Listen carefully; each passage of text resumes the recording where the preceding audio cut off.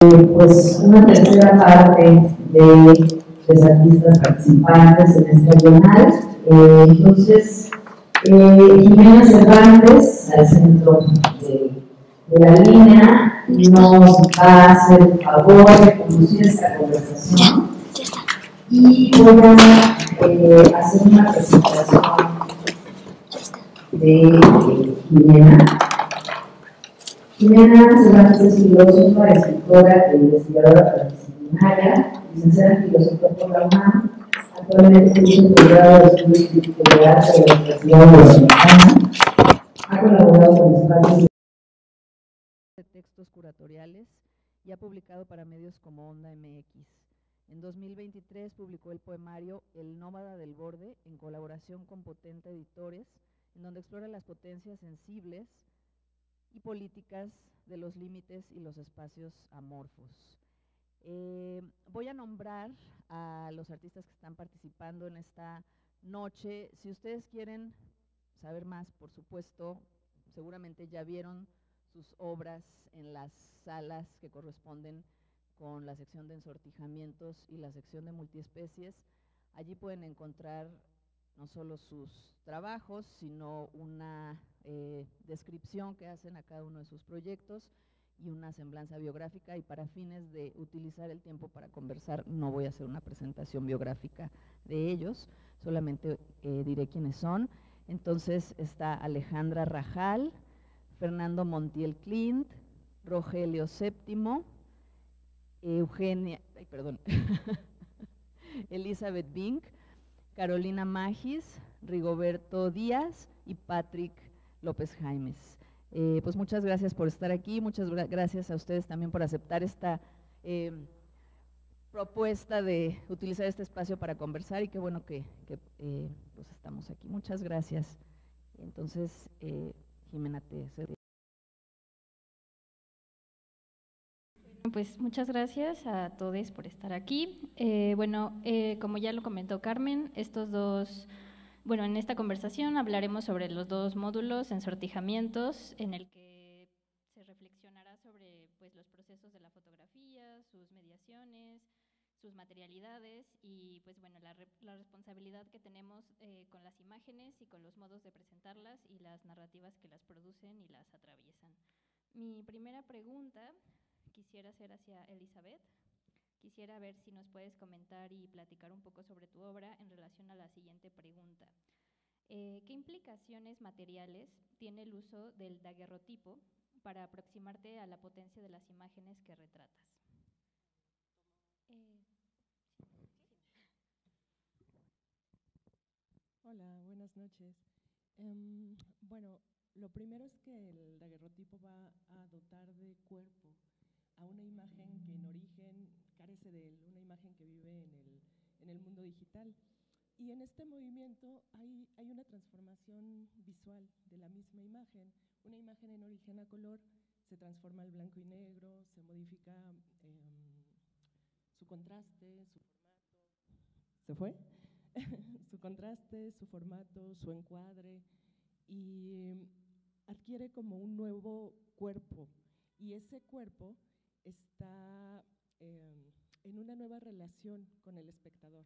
Ahora el espectador se ve en la necesidad de acercarse, de estar buscando como el ángulo correcto para poder visualizar la pieza o de detenerse. Y justo esta parte de detenerse en el tiempo era lo que me interesaba del daguerrotipo, de detener ese flujo del mundo digital y volverlo algo tangible. Incluso eh, al utilizar un artefacto del siglo XIX, dotarlo de cierta magia, de cierta aura, me atrevería a decir. Y en este juego de, pues, de tiempos, crear como paradojas temporales y visuales. Gracias, me encanta la verdad, la pieza está increíble. Eh, bueno, la siguiente pregunta sería para Carolina. Eh, quisiera ver si nos puedes platicar un poco de la pieza en relación a la siguiente pregunta. Eh, ¿Qué procedimientos encuentras en el medio fotográfico que te invitan a explorar y reflexionar sobre la materialidad de lo mínimo y lo diminuto, que creo que es una tendencia que tiene, bueno, una constante de tus... Tu materialidad, ¿en qué lugar de la imagen estaría? ¿En el interior, en la superficie o en los propios procedimientos mediales o en otro lugar? Eh, justo me encanta estar cerca en la exposición y aquí en el espacio con Elizabeth, porque entre el daguerrotipo y, y lo que yo presento hay 200 años de historia, de, de, se me hace muy dramática justo la pregunta por la materialidad y me gustaba presentar un proyecto como, digamos, recursivo sobre sí mismo, que está preguntándole a la imagen por la imagen. Creo que muchos lo estamos haciendo, pero me gustaba evidenciarlo. Eh, ayer hablábamos como de meta imagen o la imagen que es consciente de ser imagen, que es un tema que a mí me interesa mucho explorar. El libro que es consciente de ser libro, la hoja que es consciente de su dimensión, pero la imagen es este sujeto extraño, fantasmagórico que no adquiere cuerpo, a menos que sea un cuerpo metálico, sólido, grabado prácticamente. Y creo que justo ayer que me quedaba viendo la pieza y reflexionando sobre la esencia de la imagen, al final la imagen es punto. Yo que estoy obsesionada con los puntos en mi obra personal, pues es una secuencia de puntos, ordenada, clasificada, cada una en el mundo digital es muy claro si son puntos de qué, sintonía del color y esa secuencia de puntos nos permite ver una imagen. Y creo que esa secuencia de imágenes hace una especie de retícula eh, casi como una tela que es la que sostiene la imagen que estamos viendo. Entonces, en su esencia, el punto está dándole la, como el, es lo mínimo, es la mínima expresión de la imagen, pero también sin el punto y su, su minusculez no existe el total. Entonces, creo que ahí hay una, un juego muy lindo entre lo, lo nada y lo todo, que es la imagen al mismo tiempo, y también eh, tiene una cosa muy interesante y seductora y perversa la imagen, que es que nos niega un cuerpo y está constantemente como diciendo aquí acabo y más de acá no hay, no hay más. Y justo hay un, una labor muy íntima en el trabajo de imagen, de edición digital, como el que solemos hacer desde la práctica fotográfica contemporánea, por lo menos en mi experiencia, que es encontrarle dimensionalidad, profundidad al hecho mismo de trabajar con una superficie que parecería ser un fin, pero hay como un, algo más que es al, al, editar, al cortar, al recortar, que en fin, parece que la imagen nos está queriendo decir que tiene cuerpo, aunque sea un cuerpo fantasmagórico minúsculo y tal vez diría Duchamp infraleve. Y por otro lado, también nada más quería mencionar que el tema del punto nos remite a toda la política de la resolución de una imagen y que creo que abre unas muy buenas preguntas de quién tiene derecho a la resolución, a la alta resolución. Creo que son de las preguntas que a mí me interesan mucho justo ayer, que quién tiene imagen a ser reproducido, que creo que es una de las preguntas de la expo. Eh, también quién tiene derecho a hacer imágenes de alta resolución, a reproducirlas en alta resolución. Y todo eso radica en la esencia, en el punto el centro, el nodo central que es el punto y el que es el cuerpo de la imagen. Mientras más puntos, más resolución, más vida, más sobrevida tendrá la imagen, mientras, mientras menos puntos, menos cuerpo, menos esencia, más un carácter efímero de la imagen. Entonces me, yo me quedo pensando en eso. Muchas gracias. Sí, muchas gracias. Es una respuesta que sí abre muchas cosas. Ojalá lo podamos seguir comentando. Eh, Pamela no está. Eh, Rigoberto, mi siguiente pregunta. Eh, eh, bueno, quisiera que nos contaras un poquito de tu obra en relación a los retos formales y figurativos que encontraste al momento de tratar de representar el erotismo de los, recuerdos en la pieza. Ok. Um, Creo que puedo dividir la respuesta en dos. La primera parte tiene que ver con eh, la pieza que presento es atípica en mi producción, entonces yo no había trabajado previamente con eh, algo que estuviera tan cercano o fuera tan autorreferencial. Entonces el primer reto fue crear una distancia en, la historia y en ese sentido eh, empezar a pensar de repente como Rigo persona, Rigo artista, eh, y como que hacer ese juego entre el ir y venir de eso. Y la segunda parte tendría que ver con em, el medio que mejor se adaptara a la historia que estoy contando o que se está narrando en la pieza, que es una historia eh, que de alguna manera remite a aquello que está como inconcluso, aquello que está trunco y que más bien es como el deseo o el erotismo de, de una persona hacia otra y en el caso muy específico de un hombre hacia otro hombre. Entonces, eh, yo esa segunda parte la resolví eh, pensando que desde mi aproximación como artista me interesaba el texto, pero el texto no era suficiente y que la fotografía también me interesaba, pero la fotografía tampoco era suficiente y lo que encontré en medio era el guion cinematográfico, porque el guion cinematográfico es aquello que está en potencia de ser algo más. Eh, quien escribe guion está pensando que en algún momento se va a hacer la película.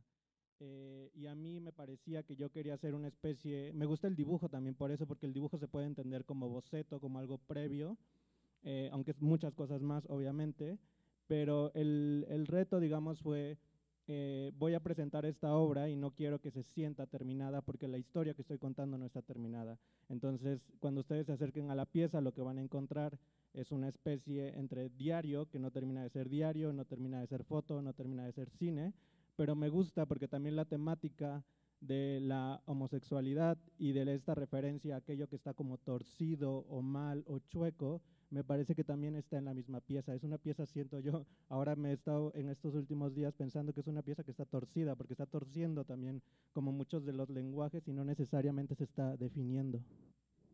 Muchas gracias. Sí, creo que eh, se propone una idea de tiempo muy interesante en tu, en tu pieza. Muchas gracias. Eh, la siguiente pregunta sería para Rogelio. Eh,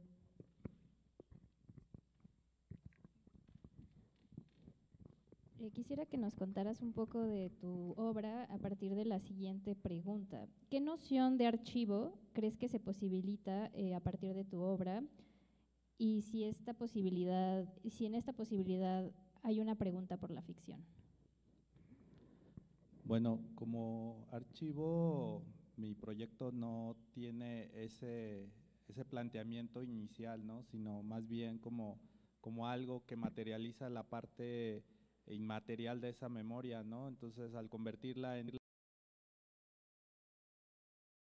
donde puede recurrir a ese camino, a esa vertiente de convertirse en un archivo para la persona que le quiere dar esa carga simbólica del, del elemento ¿no? visual que está, que está en, eh, materializándose ¿no? a través de un papel o eh, de una pantalla. Entonces ahí lo, la idea de, la ficción o de la parte como eh, real de esa imagen llega a ser a partir de que, bueno, pues la fotografía también ha convivido con la ficción desde, desde su origen y desde muchas partes ¿no? en la evolución de la imagen. Eh, en ese sentido, pues la, la ficción puede llegar a darse si los elementos son para construir algo este, eh, más, eh, digamos, fantástico o, épico, digamos, pero en este sentido, pues la, transferencia es desde una transmisión oral de, persona a persona que creo que no entra en esa parte eh, ficcionada, sino más bien vivencial entonces creo que puede abrir esa vertiente, pero no necesariamente la, estoy explorando yo en este, en este proyecto. Muchas gracias. Este, y bueno, ahora me gustaría pasar al siguiente bloque, que es el bloque de multiespecie. En este bloque el ejercicio es por repensar eh, el potencial, bueno, una manera, una manera más crítica de relacionarnos con otras especies dentro del contexto de la crisis que vivimos actualmente, una crisis que si bien sí es ecológica, también es una crisis pues ética, eh, eh, pues sí, como afectiva, y que estos tres registros se unen como en el modo en que nos vinculamos con el mundo y con las especies. Entonces, bueno, mi pregunta sería primero hacia Fernando Montiel. Eh, bueno, a partir de tu propuesta, eh, mm, ¿cómo encuentras un vínculo entre lo corporal, lo animal y los objetos? Y si hay un elemento que los vincula, ¿cuál sería? Eh, creo que parto de la idea de que más del 50% de nuestro cuerpo es agua. Y de ahí creo que partimos, que alguna vez fuimos criaturas eh, acuáticas y de alguna manera estamos conectados. Y entonces me parece que quiero hacer eh, una integración, un conjunto de imágenes que se van interconectando entre diferentes especies o diferentes ideas, porque es muy diferente cómo percibe cada quien eh, un primate.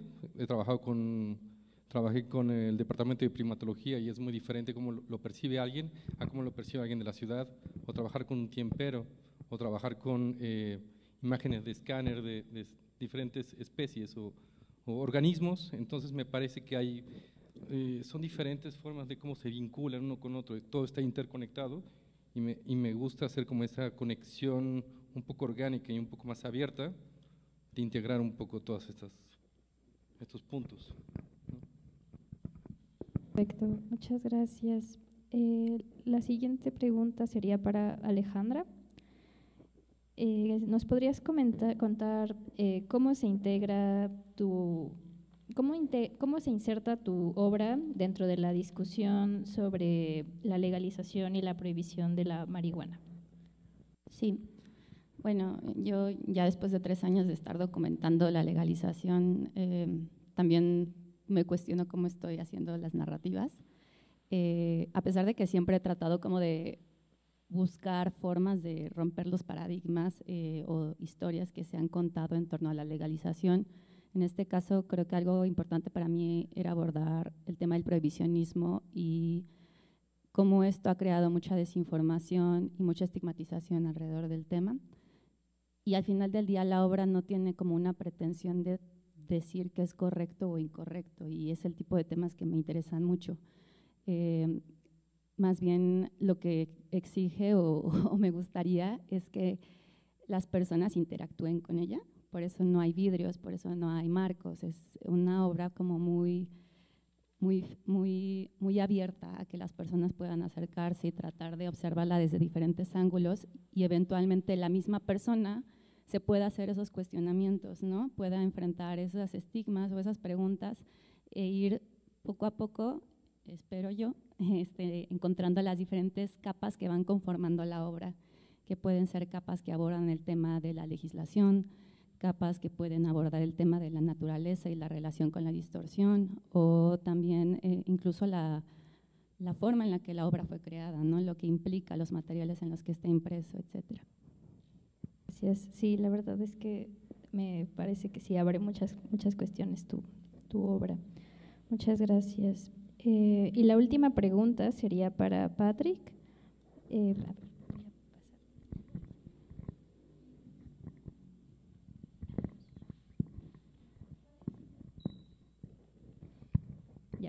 ¿Cuáles consideras que son los retos que implica acercarse éticamente a lo animal es decir, desde los códigos vitales con los que habitamos, sin la necesidad de imponer una insistencia por humanizarlos.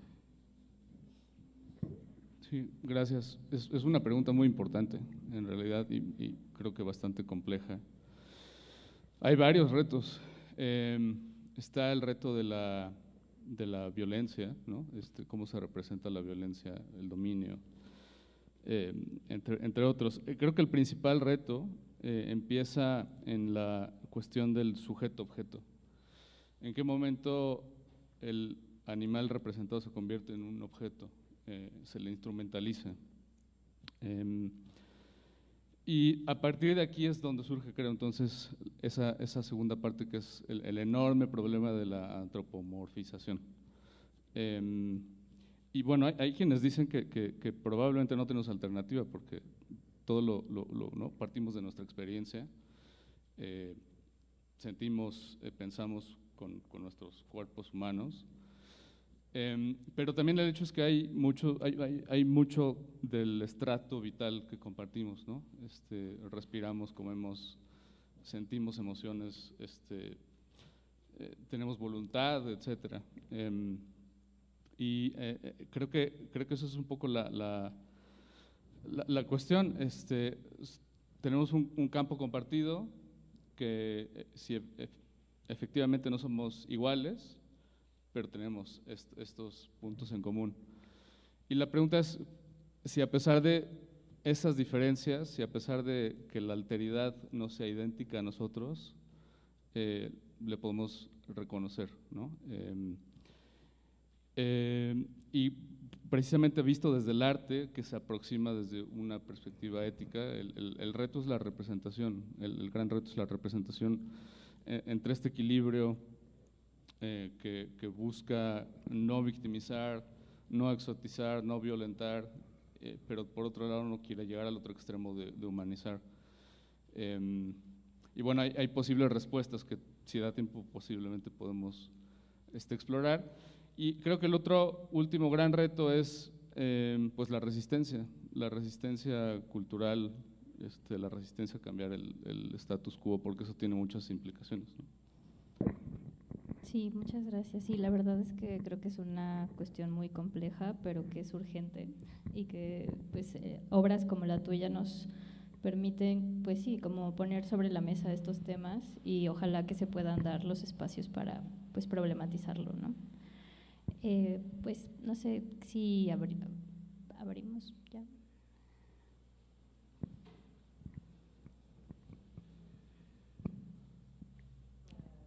Creo que todavía hay un poco de tiempo, ¿no? ¿Sí? O sí, ajá, bueno, si alguien quiere comentar algo o hacemos, abrimos para preguntas.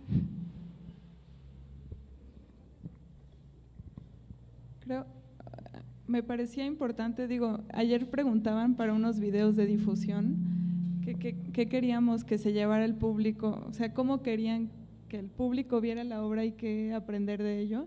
Y creo que está padre como artista preguntarte eso. Y yo decía, bueno, me gustaría, me interesaba en mi caso que se viera la obra y luego volvieran a ver toda la exposición, tal vez pensando en el trabajo que es la foto y que como en esta característica de imagen y de inmediatez que tiene la fotografía, donde la estamos ejecutando en todo momento y parece ser muy de muy fácil acceso y está sucediendo de pronto la parte del trabajo asociada, que creo que es un tema político que hay que defender, este, eh, es que hay, un, hay una pieza del artista turco Harun Faroki que grabó trabajo y uno de los trabajos que grababa era un diseñador gráfico y lo que se veía era un dedo presionando un mouse. Contrario al trabajo en fábricas, que hay piezas aquí sobre maquilas, donde está el cuerpo involucrado, el trabajo de pronto desde las artes es realmente inmaterial, muy ligero, diminuto, pero también es trabajo y pensaba que tal vez explicitando eso, regresar a ver la otra obra pensando en la cantidad de horas invertidas en esa cosa que ves en un segundo este, cuántas miradas, cuántos años de historia hay detrás, pero también en la práctica fotográfica misma.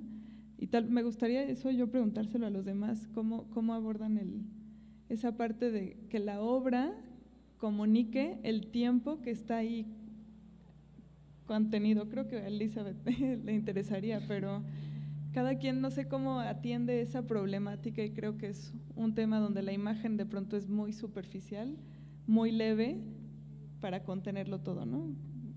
Ahí lo dejo si quieren. ¿Alguien quiere compartir su opinión? ¿No?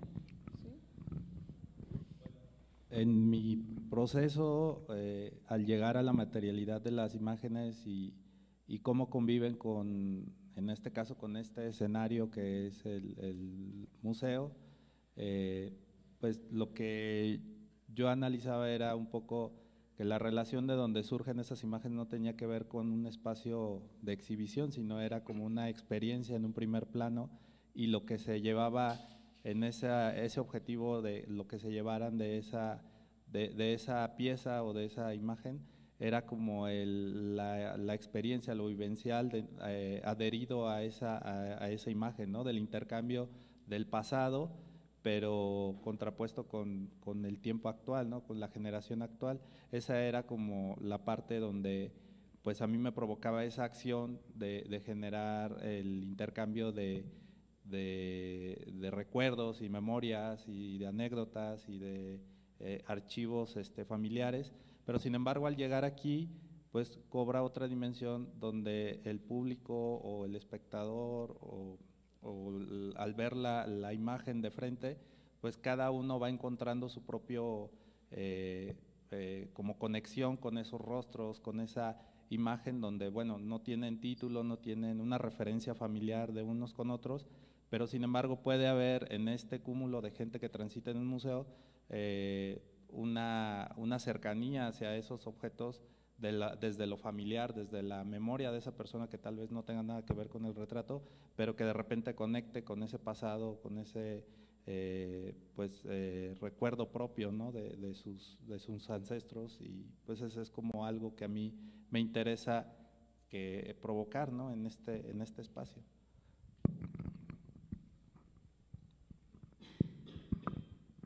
Me quedé pensando y recordé algo que se dice mucho en la danza, el que lo hagas que de tal manera o que ejecutes la danza de tal manera que las personas no vean el esfuerzo, que se vea como súper natural el, movimiento. Y trataba como de pasarlo hacia el mundo de la fotografía y a veces pasa, nosotros vemos como los resultados finales y en realidad el proceso es larguísimo y puede ser como una parte escondida ¿no? de, de, lo que lo, logramos mostrar hacia, hacia los demás.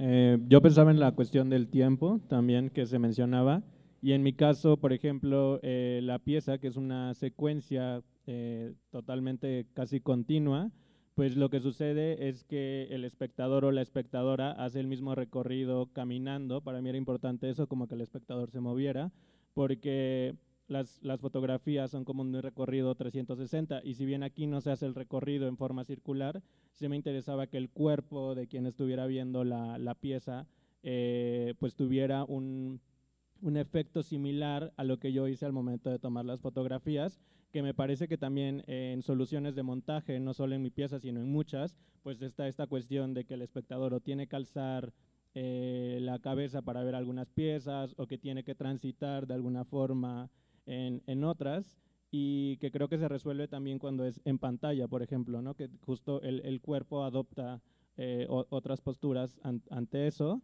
Eh, y sí, más bien era la manera en cómo lo había relacionado con la pieza.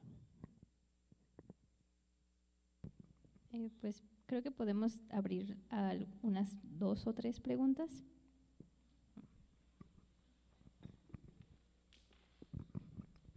Sí, bueno. Eh, a mí me gustaría, digo, a propósito que Caro eh, compartió la pregunta que les hizo el equipo de comunicación, que me parece muy bella, porque es pensar en, en, que ustedes sueltan su obra y una vez que la sueltan, pues el encuentro de quien la mira, pues ya es como lo que acontezca ahí, pues ya, ya no depende de ustedes. Entonces me, da curiosidad, y si nos adelantan las respuestas antes de que circulen los videos en redes, creo que nos podría dar para conversar. Eso por un lado, que creo que tiene que ver como qué, qué quieren que aprenda la gente. Bueno, si ahorita lo repites, te lo agradeceré. Y, y antes de esa, este, pues quizá me, me gustaría eh, que nos puedan compartir este, eh, todas las personas acá enfrente. Em, si hay un momento detonador de la idea eh, o eso que quieren compartir y aprender en su obra, que, que les da, eh, o sea, que les impulsa a crear eso, ¿no? que ya ahora lo vemos terminado, pero quizá hay un momento, una inquietud, una pregunta, un mm, ¿por qué raro está esto? o hace falta esto, ¿no? Como me pregunto en el caso de Elizabeth, eh, ¿qué, qué, qué, acontecimiento específico te, te, te generó ansiedad que se quedara olvidado en el mar de imágenes, ¿no? Eh, en el caso de, Rogelio, bueno, la anécdota de la bisabuela es clara, pero a lo mejor hay, otra forma de completarla. Eso me da curiosidad. así que si nos pueden compartir ambos aspectos.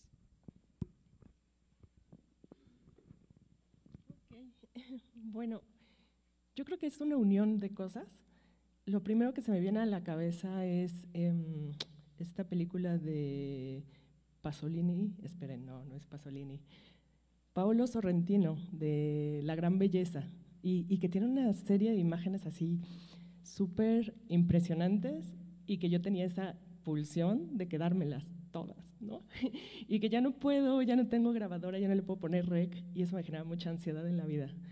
Y después, eso por un lado, y estaba pensando por otra parte, como que tenían esas imágenes que, que me gustaría coleccionar y que venían muy de cine, y me di cuenta que, que, estaban rozando en categorías como de lo sublime.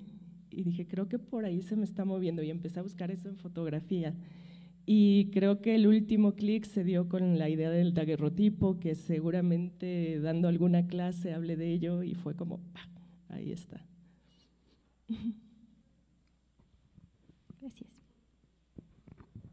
Y creo que en, en, mi caso fue más como un viaje desconocido que me, me metí. Oh, nunca había fotografiado animales, para empezar. Entonces me fui metiendo y, y fui encontrando animales ilegales, animales eh, de diferentes especies, ver el comportamiento de cómo iba a ser y meterme en diferentes situaciones, un poco eh, también confrontar, ¿no? meterte en una jaula con un mono eh, agresivo, salvaje, no está domesticado. Entonces, ¿cómo vas encontrando estas situaciones que te van llevando a la otra y te van llevando a la otra y vas conociendo diferentes territorios?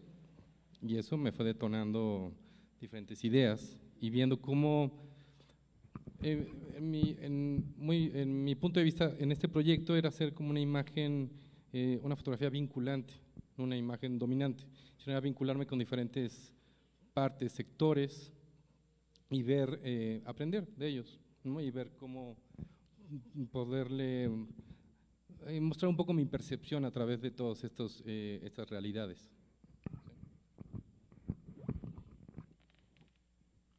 Um, en mi caso, lo que sucedió fue que, bueno, en mi práctica yo soy más fotoperiodística y fotografía documental.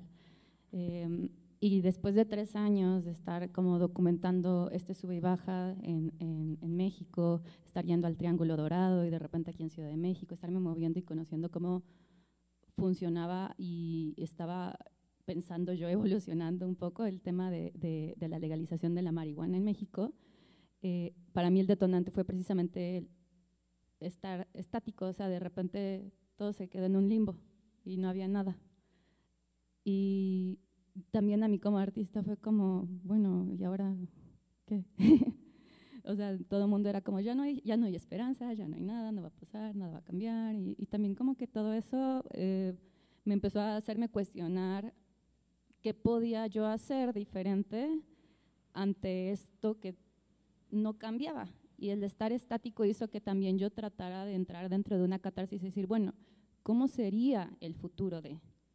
Entonces ya empezar yo a cuestionarme y cambiar la realidad también me hizo adentrarme en explorar nuevas formas de, ya que mi, yo, yo soy autodidacta, no estudié ni periodismo ni fotografía, eh, dije, bueno, yo estudié publicidad y diseño y si algo aprendí fue como pues el tema del product shot y todo esto y dije, ok, ¿cómo puedo aplicar toda esta parte estética tan perfecta dentro de una temática como las drogas.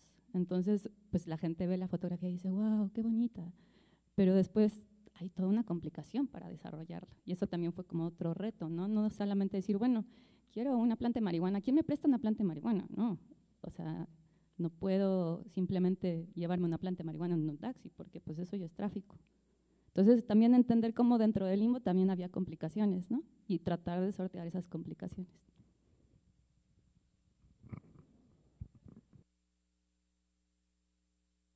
Bueno, yo en referencia a lo, a lo mío, eh, tiene que ver con pues, la experiencia del, desde la infancia, ¿no? El convivir en esa isla para mí yo creo que marcó el, el detonante de, de, estas imágenes, porque viene impregnado de esa experiencia pues familiar, de la, de la tradición oral, ¿no? De la transmisión oral, de cómo eran los antepasados y cómo tú mismo creas esa imagen aunque no tengas una referencia visual tu cerebro crea esa acción y, y, se vuelve tan marcada que, bueno, pues yo la retengo hasta ahora, ¿no?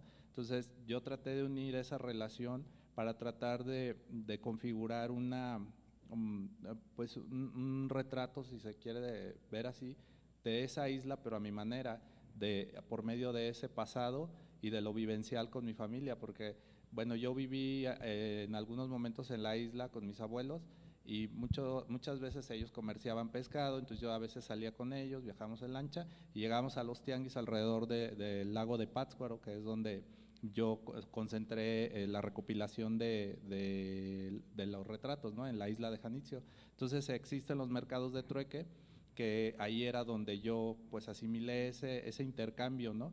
Entonces como que lo trasladé hacia un proceso fotográfico, pero desde esta experiencia vivencial. Entonces, lo que a mí me, transmitió fue como un, caminito para poder acercarme a otras personas e intercambiar de manera como simbólica este, este valor del pasado por otro, ¿no? O sea, yo también les hablaba de un poco de, mis abuelos, como un entendimiento mutuo que empezara a crear esta, esta relación temporal con, eh, con, la persona que, me, que, me, que quería que, que reconstruyera el, el retrato de, su antepasado. Entonces se intercambiaba y de repente pues también había esta, esta búsqueda por, mm, por, eh, eh, el, mostrar tangiblemente ese, vínculo que yacía en su memoria, ¿no? Entonces, al cobrar, para mí el reto más difícil, yo creo, es como mm, no deshumanizar esos rostros, pero también dejar indicios de que no son completamente este, eh, los retratos, ¿no? Por ahí se ven algunas huellas de, de, lo que es la inteligencia artificial en algunos aspectos del retrato, pero en general es crear esta visión eh, mm, del recuerdo como lo más tangible posible, ¿no? De ese personaje. Eh, de ese personaje que se, que se quedó en la memoria de, lo familiar, ¿no? Y que todo mundo, por anécdotas o por transmisión oral, lo recuerda.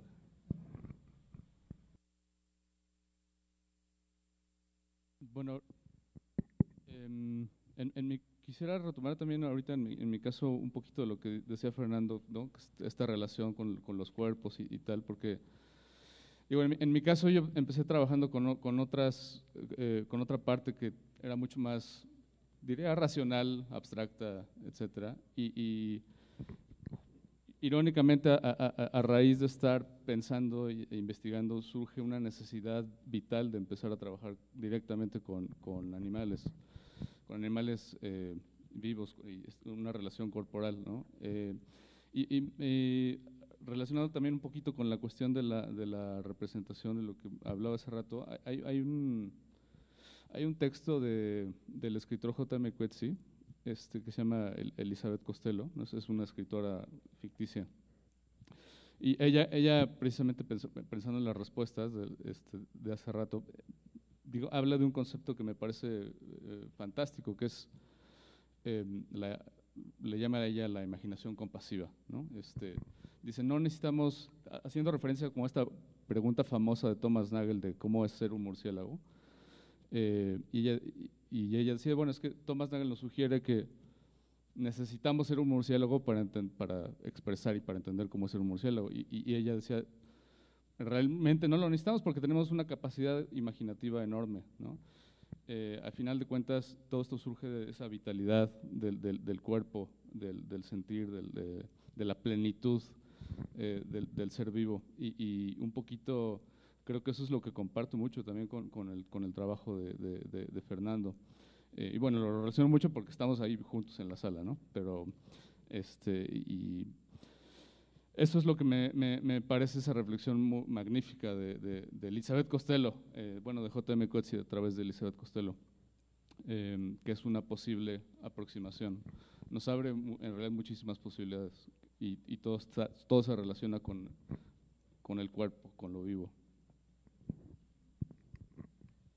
Tal, vez me gustaría responder a la pregunta del momento detonador y creo que para mí es como la incapacidad de acceder a lo sublime en la época contemporánea. No tenemos dónde ver un atardecer que no esté interrumpido por un palo, un tubo, un poste Este, entonces hay como una dimensión de honestidad y verdad, de no tendremos acceso al paisaje. Justo creo que de eso se trata mi pieza del no acceso y al construir este, desde este carácter imaginativo tenemos acceso a la imaginación y entonces es aquello que está negado por la realidad urbana en la que estamos, moderna, post, post, post.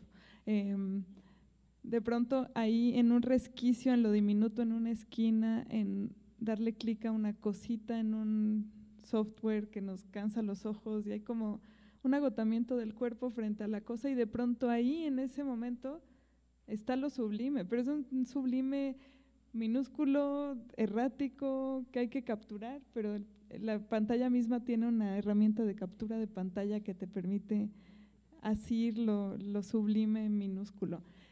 Y creo que también hay como un terreno de, de honestidad con respecto a, esa situación que podría ser opresiva, pero abre, hay como esos indicios de que hay mundos mejores, pero tal vez serán mundos ficticios construidos eh, y también desde el sonido, en la pieza que puse el sonido es, es falso, no es una lluvia real, es una orquesta que desde su cuerpo genera el sonido de lluvia, entonces todo eso es fingido, sin embargo ayer algunas de las personas que visitan me dijeron, me sentí como en una meditación ante la tecnología y a la ficción, pero de pronto ahí nos encontramos un espacio de comodidad. Creo que de eso se trata, ¿no? Eh, bueno, eh, ¿alguien más quiere hacer una pregunta? Que sí se me hace muy, muy interesante porque bueno, algo, algo que se me hace muy interesante porque está presente en lo que conversaron de cómo, eh, por ejemplo, eh, uno llega a ver los retratos de, de, Rogelio y, y el, el, público en general, pues bueno, vemos, inclusive, pues a lo mejor si no leemos, y habrá muchos de los que pasen y que no, no leamos nada del texto, pues se va con la finta que, ah, bueno, un retrato y demás. Entonces, como yo, yo he aprendido la conveniencia y necesidad de acercarme con los autores para entender un poquito más el proceso, ¿verdad? Y, entre la vida y el proceso del sujeto, pues se entiende a lo mejor más, se mete más a la obra.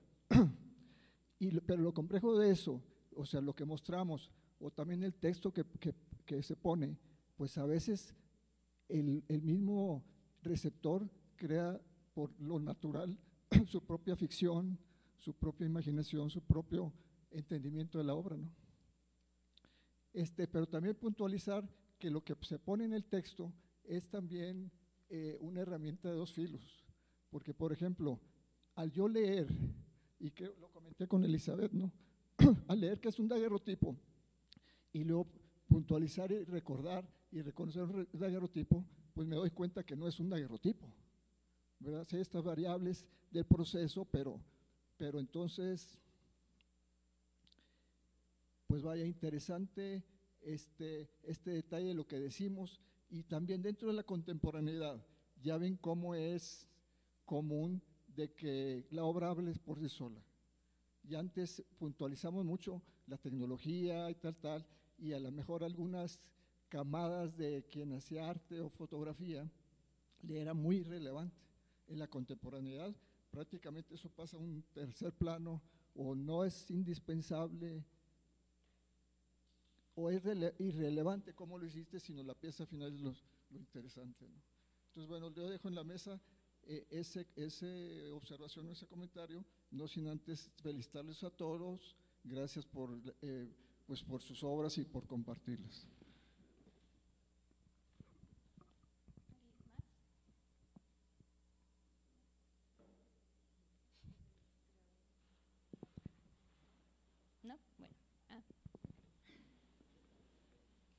Bueno, aprovechando que no, no hay alguien muy ansioso por hacer una pregunta, a mí me gustaría pedirte, Jimena, porque bueno, una parte importante de, invitarte a, moderar esta conversación y a pensar preguntas para eh, los artistas tiene que ver con tu em, trabajo sobre nuevos materialismos y justamente te tocó moderar eh, dos grupos, uno sobre la cuestión eh, sobre la virtualidad, sobre la producción de, ilusiones a partir de las imágenes, sobre eh, la producción de visibilidades e invisibilidades y eh, la mesa justamente sobre, cuerpos y vida y, materialidad y este, este término que estaba escuchando en una entrevista con Bruno Latour de Gaia, ¿no? que es esta capa delgada que compartimos, donde,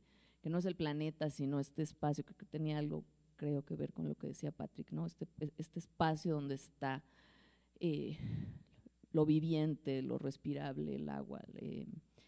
no sé si tú querrías hacer un comentario sobre estos dos eh, momentos un poco extremos, digamos, de, de la exposición a partir de tu, de tu trabajo filosófico?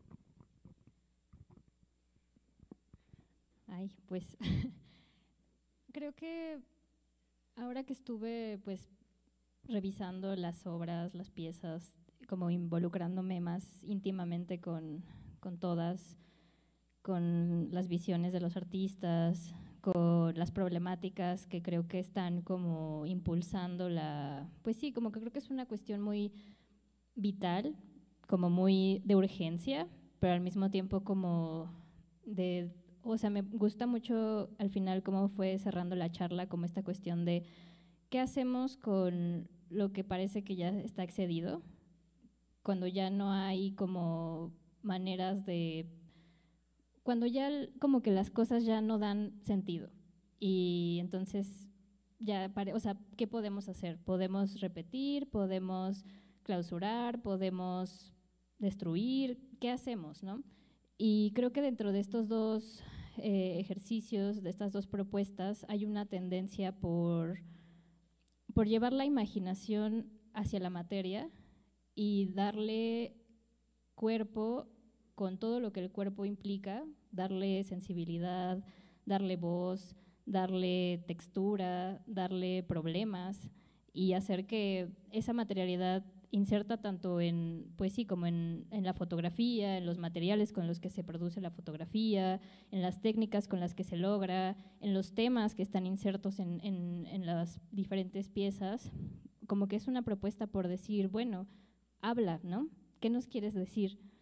Tal vez no nos quieras decir nada, tal vez es un ejercicio nuevamente por humanizar y por creer que vamos a como que escuchar una voz de la materia y nos va a decir, ah, sí, quiero libertad, quiero responsabilidad. O sea, creo que más bien es como la posibilidad de tener como un vínculo más allá de lo humano, que no es como voy a dejar mis capacidades humanas, sino más bien voy a repensar cómo me estoy como, como habitando como humano, como artista, como creador, como persona viviente y cómo las propias como situaciones de mi presente me están como que demandando una relación distinta con, con la materia.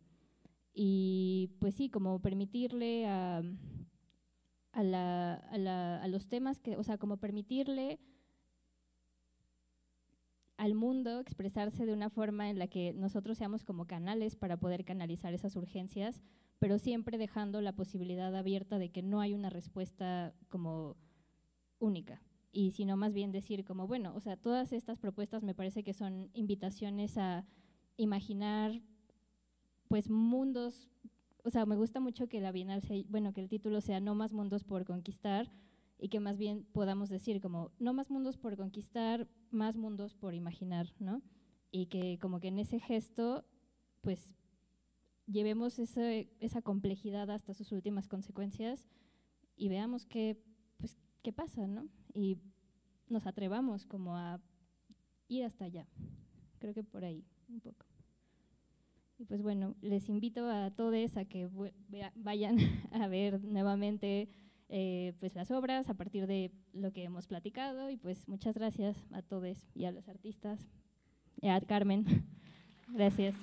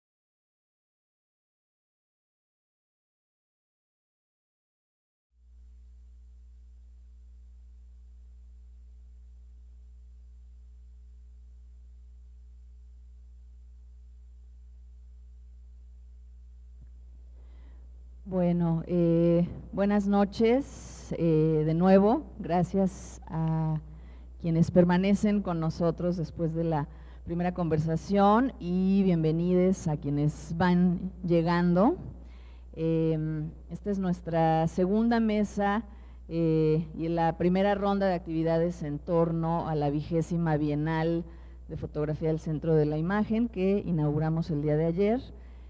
Y eh, aparte de agradecerles a ustedes por estar aquí, quiero agradecer a la doctora Sayak Valencia por eh, aceptar, liderar y moderar esta conversación en torno a dos eh, de las secciones de la exposición tituladas Cuerpos que Importan y Contramemoriales.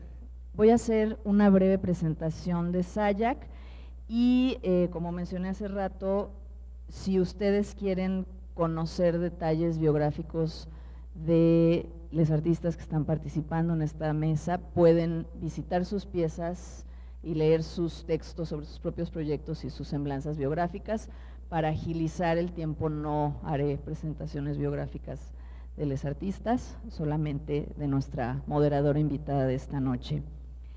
Sayak Valencia eh, es profesora, investigadora titularse de tiempo completo, en el Departamento de Estudios Culturales del Colegio de la Frontera Norte, Centro de Investigación CONACIT. Es doctor en Filosofía, Teoría y Crítica Feminista con mención europea por la Universidad Complutense de Madrid. Su libro Capitalismo Gore se ha convertido en un referente en los estudios de género y el análisis de la violencia y la necropolítica y ha sido traducido al inglés, alemán, coreano, francés e italiano. Sus líneas de investigación son transfeminismos, feminismos y teoría queer, género, sexualidad y poder, género y derechos humanos, masculinidades y narcocultura, capitalismo gore y de colonialidad, biopolítica, necropolítica y psicopolítica, arte contemporáneo y crítica de colonial a la sensibilidad neoliberal. Entonces, como podrán notar, es la interlocutora idónea para este diálogo con eh, Alejandro Cosío, Marco López Valenzuela, Nancy Chávez, Carol Espíndola, Carolina Fuentes, Anaí Tirado y Rodrigo Hernández. Muchísimas gracias por estar aquí, buenas noches y le cedo la palabra a Sayak. Gracias. Hola, sí, ya. Hola, buenas noches. Bueno, primero, bienvenidos. Un gusto estar esta noche con ustedes y con los artistas, eh, que además me parece que, bueno, vamos a tener poco tiempo, entonces no me voy a poder tirar todo mi choro que hago siempre, pero básicamente voy a resumir un poco eh, la importancia de de esta conversación me parece que por un lado está, que sabemos que es una conversación en torno a la fotografía, a las imágenes, al arte y sus posibilidades de reparar o de, o de hacer algo distinto ¿no? desde, desde la imagen. Y a pesar de que el arte evidentemente pues se ha instrumentalizado muchísimo o por otro lado se discursiviza como que se desmaterializa, ¿no? que una desmaterialización de la imagen, una desconfianza de las imágenes, como decía o dice Didi Uberman. Me parece que también el arte y en este caso la fotografía, en, en el caso de los dos eh, de, las dos secciones que vamos a comentar esta noche, que tiene que ver con eh, contramemoriales y cuerpos que importan, que además son conceptos bien cargados de significado y además muy importantes eh, a nivel político, pero también no solo conceptual y político, sino también afectivo en nuestro país, donde hemos estado atravesando durante por lo menos los últimos 20 años, sino más, y yo estoy segura, y bueno, estoy segura que más de 20 años, por lo menos 40 años, pero de manera muy cruda a través de la violencia que se ejerce sobre cada vez más comunidades eh, y que regularmente se vincula con el narcotráfico, pero que en realidad no es solamente eso, ¿no? sino que es un sistema más estructural. Y cómo las imágenes, a pesar de que parece que ya no tienen capacidad de denuncia, nos llevan a otro lugar y nos llevan también a una especie de algo que denomino eh, repara acción, ¿no? no solamente una reparación que se espera de manera, este, digamos, un poco más eh, despotenciada, sino una acción a través de la imagen y llenarlas de significado distinto. Eh, por eso esta, esta noche vamos a discutir sobre esta serie de fotografías, cómo se conectan con eh, la importancia de justamente impugnar la, idea de memoria, de duelo, de raza, de género, de clase, pero sobre todo también impugnar estos discursos que conforman la memoria oficial en su sentido amplio, y me refiero a memoria oficial, no solamente la memoria del Estado, sino las memorias de las narrativas de género, de raza, de clase, ¿no? que nos conciben desde un nacionalismo muy homogenizante y que al mismo tiempo al ver eh, la diversidad de imágenes que están en diálogo y que están hablando también de manera descentralizada, que me parece muy importante eso, ¿no?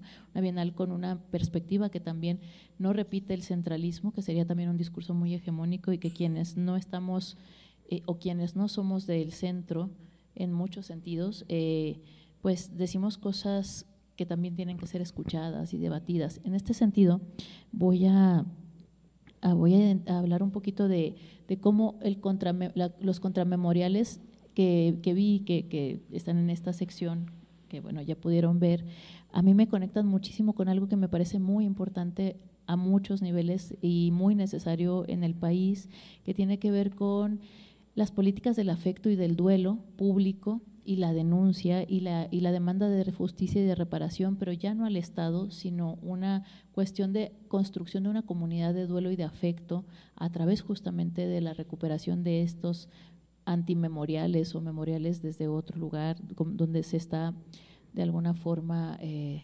desobedeciendo las lógicas de cómo deberíamos dolernos, ¿no? O cómo deberíamos denunciar, o qué puede doler y quién puede doler, por eso los cuerpos que importan y los que no importan. Y esto me parece también eh, muy importante porque otra parte que me parece muy importante y medular acá es eh, pues la migración, y no solamente la migración internacional, sino también la migración de, dentro del mismo territorio y que lo vemos conectado con la historia política de nuestro país de diferentes maneras, ¿no? Por ejemplo, con estas piezas maravillosas sobre los mascogos, que mucha gente no sabe que existen estas comunidades en el norte de México, por lo que decía, que hay como un discurso nacionalista homogenizante, que todo es la raza cósmica y cosas así, y entonces dices, bueno, hay unas genealogías muy disidentes y muy distintas en otros lugares que además también nos llaman a una imaginación política distinta y a un tratamiento no solamente del duelo, de la migración, del flujo de personas eh, desde los lugares ya acostumbrados para la memoria o ya acostumbrados para el discurso, ¿no? Y cómo hace la fotografía esto, si solo es una fotografía y hemos visto miles de fotografías y además vemos todo el tiempo imágenes, ¿no? Las redes sociales es lo más lo que más nos muestran, incluso imágenes pues en movimiento, pero imágenes sin discurso, imágenes sin, sin, palabra, pero aquí me parece que hay una potencia muy buena que tengamos aquí a las personas que han hecho este trabajo y bueno, voy a hacer preguntas muy sencillas a partir de este marco que estoy planteando que tiene que ver con la política post-mortem, con la memoria, con el afecto, con el duelo en un país completamente eh, atravesado cotidianamente por las diferentes formas de violencia y la instrumentalización de esa violencia dentro del marco del Estado, ¿no? El necrovalor de los migrantes, el necrovalor de la sangre, el necrovalor de de ponerle, de dar una lección histórica a la gente que, que, tiene que trabajar de manera ilegal con el huachicol, ¿no? Eh, que se mueran porque están, están, están haciendo algo, que voy a hacer algo ejemplificante, ¿no? No lo voy a provocar, pero no lo voy a detener. Entonces, esta instrumentalización de la, de la de manera legal, de los poderes legales e ilegales en el país, ¿cómo se están resolviendo también, no solo a nivel subjetivo, sino a nivel micropolítico en diferentes comunidades. Y yo les voy a preguntar a ustedes desde su perspectiva, ¿cuál es la función, el objetivo, el propósito de los trabajos que están expuestos aquí? ¿Con quiénes están dialogando? De ¿Con quiénes disienten? ¿Qué reivindican? ¿Qué desafían? qué es lo que les importa a ustedes al hacer este trabajo. Y también estoy muy contenta, ya sé que suena suena muy este panfletario, pero estoy muy contenta que seamos la mitad y la mitad. No está Alejandro Luperca, pero bueno, regularmente seríamos, bueno, yo como yo no correspondo, somos yo bueno, una más, pero en realidad estaría mucho más equilibrado, cosa que me da muchísimo gusto porque sabemos que, ya lo decían las Guerrilla Girls, ¿no? Las mujeres no entran a los museos solamente que estén desnudas y, y en este caso el desnudo también, y que es una de las piezas que me parece también muy importante, ¿no? el desnudo visto desde otro lugar. Pero voy a pasar la palabra, yo creo que, no sé si hay alguien que quiera iniciar o vamos eh, así como salteando o, hay un orden este, que prefieran. ¿Quién quiere iniciar?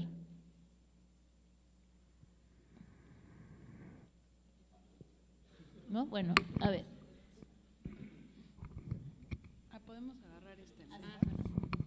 Soy una persona antipráctica.